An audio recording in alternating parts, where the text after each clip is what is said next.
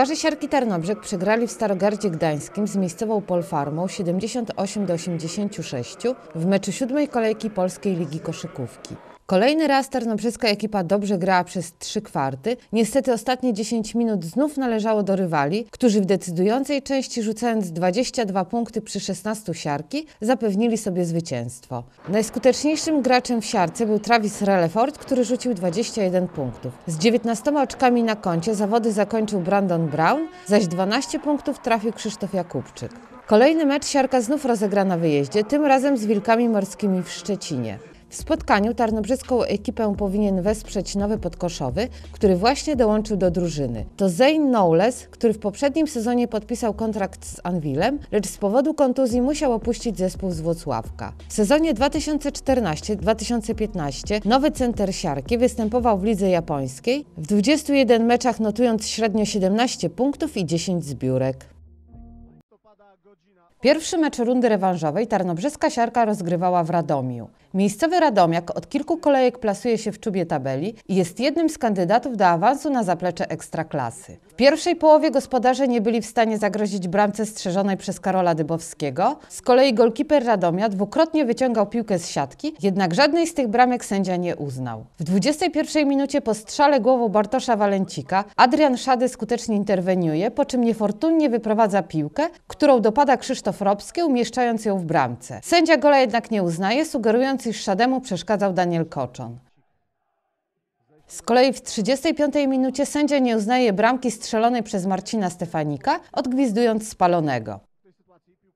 W 47 minucie na indywidualną szarżę decyduje się Leandro. Brazylijczyk wpada w pole karne i wykłada piłkę do Szymona Stanisławskiego, a ten kieruje ją do bramki siarki, dając prowadzenie Radomiakowi. Cała akcja rozpoczęła się jednak w polu karnym Radomiaka, gdzie sędzia nie odgwizdał zagrania ręką przez jednego z obrońców miejscowych.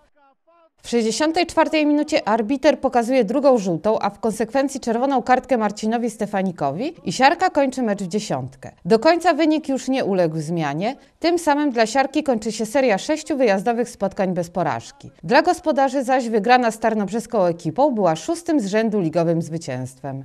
Wygrała drużyna, która strzela bramkę. No ale myśmy strzeli dwie bramki. Chciałbym zobaczyć to na powtórkach, na zwolnionym tempie, jak to wy- wyglądało. Kiedy bramkarz wypuszcza piłkę z ręki, sędzia gwizdże faul. Nieatakowany. Kiedy nasz pomocnik biega z drugiej linii, okazuje się, jest na pozycji spalonej, dogrywa piłkę, pada piłka bramkę. Wydaje mi się, to były pierwsze momenty, które zadecydowały o końcowym rezultacie. Bo później następny bieg wypadku. Nie chcę już, bo nie mam zwyczaju krytykować decyzji sędziów. Uważam, że sz- szkoda dla widowiska, bo uważam, że spotkały się dwie drużyny, które stworzyły niezłe widowisko, fajne widowisko dla kibiców. Pogodziłbym się e, z porażką, ale nie mogę się w takiej sytuacji pogodzić, kiedy my strzelamy bramki. I teraz jest kwestia, czy były bramki, czy nie. To jest już dyskusyjna sprawa. Chciałbym po prostu oglądać i wtedy będę mądrzejszy. Gratuluję gospodarzom zwycięstwa. Mam nadzieję, że to zwycięstwo przybliży ich do uprawnionego awansu. A my mamy drużynę młodą, która rozwija się z meczu na mecz. Jestem dumny z tej drużyny, że przez 90 minut byli równorzędną drużyną dla faworyta tych rozgrywek drugoligowych. Szkoda, bo ci chłopcy są w tej chwili rozgoryczeni, bardzo rozgoryczeni. Tam jestem zadowolony. Oczywiście ważność trzech punktów jest jako duża. A ja no teraz mam też co jako do powiedzenia, bo jako, jako pracę właśnie no, robił w si- w siarce, a tutaj trener, który właśnie w postęp składzie ma sześciu, sześciu właśnie e, młodych, tak to jako jest e, szacunek, a, a że my mamy trzy, trzeba byśmy no, tam, że mogli mieć, ale czwartego, piątego, szóstego na pewno nie, także szacunek.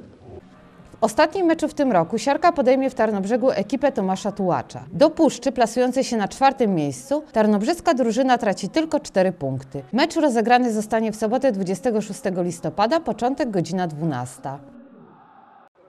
Choć miejsce w tabeli jednoznacznie wskazywało KP Zarzecze jako faworyta, to OKS Mokrzyszów miał szansę na wygraną. Tak się jednak nie stało i zespół z Mokrzyszowa w ostatnim meczu w tym roku zremisował z wiceliderem rozgrywek 2 do 2.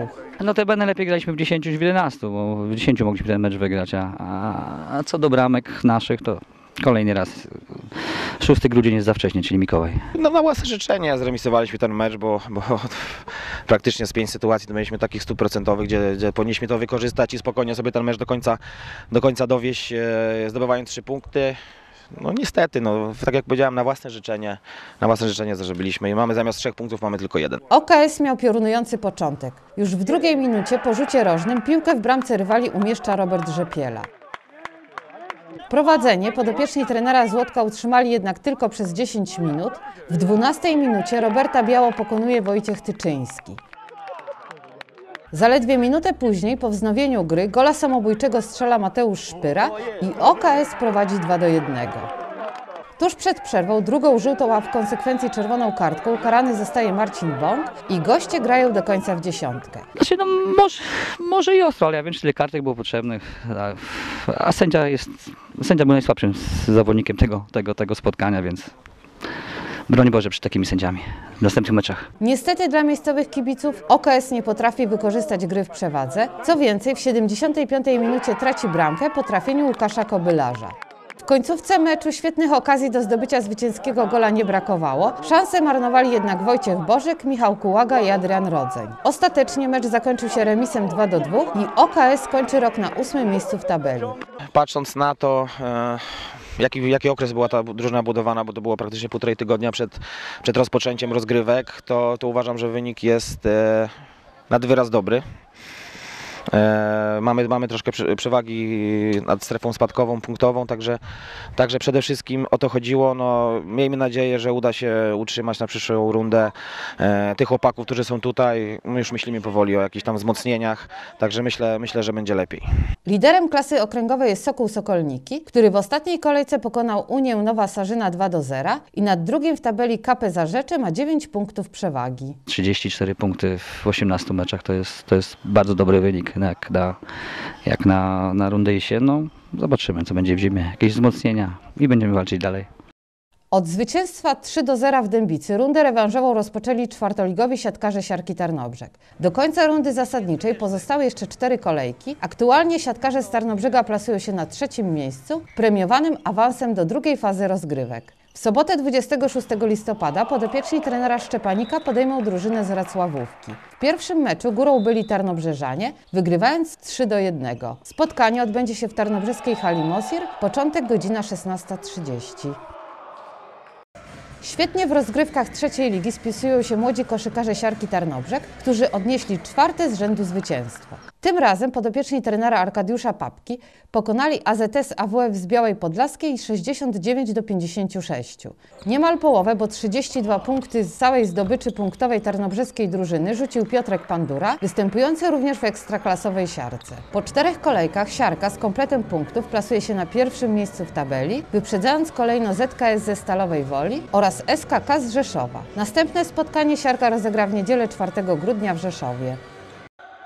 Mnóstwo emocji, dobra gra, efektowne akcje, międzypokoleniowa współpraca na parkiecie i walka do ostatniej piłki. To pokrótce charakterystyka meczów rozgrywanych w ramach Tarnobrzeskiej Amatorskiej Ligi Siatkówki. Talps może pochwalić się imponującym wynikiem. Jako jedyna liga w mieście rozgrywana jest już bowiem od ponad 20 lat. W obecnym 22 sezonie udział bierze 7 drużyn, 6 z Tarnobrzega i jedna z Nowej Dęby. Rozgrywki odbywają się średnio dwa razy w miesiącu, w niedzielę w hali Mosir. Obrońcą tytułu jest zespół Grom, który w minionej kolejce wygrał ze Strażą Pożarną 2 do 1. Słaby początek ligi notuje zaś trzeci w ubiegłym sezonie team Morgan Siarkopolanie, który przegrywając z Wisatem 1 do 2 zanotował trzecią z rzędu porażkę. W ostatnim meczu kolejki ubiegłoroczny wicelider Paw But pokonał po tiebreaku paragraf, utrzymując pozycję lidera. Czwartą kolejkę zaplanowano na niedzielę 4 grudnia.